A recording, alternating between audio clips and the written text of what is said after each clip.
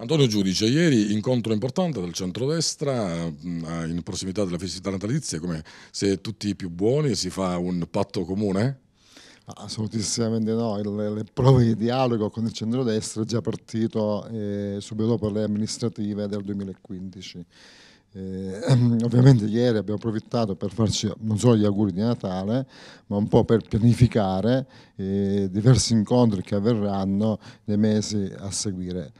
Eh, a quell'incontro c'eravamo tutte le forze politiche di centrodestra eh, che rappresentano, mm, presenti nella città, eh, nella città di Gela.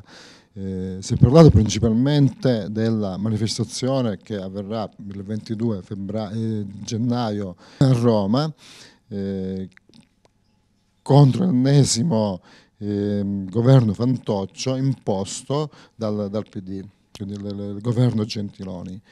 Eh, concomitanza con la manifestazione noi ehm, organizzeremo una nostra manifestazione qui a Gela. Ma c'è un centrodestra compatto e faccio anche una domanda più diretta, esiste un centrodestra a Gela?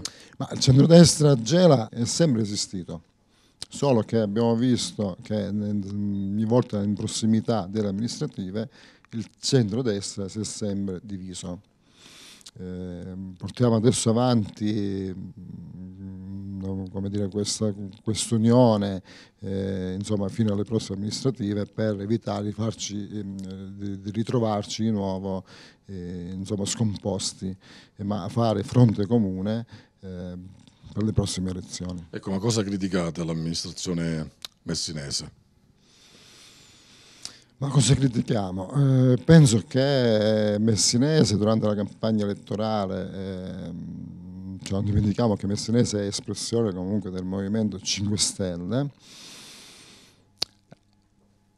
ha fatto delle proposte, ha presentato un programma, un programma che fino ad oggi insomma, è stato disatteso. Ehm, se noi ci giriamo, insomma, ci guardiamo intorno, anche in prossimità delle feste natalizie, vediamo che insomma, nella città non si respira per nulla aria di festa.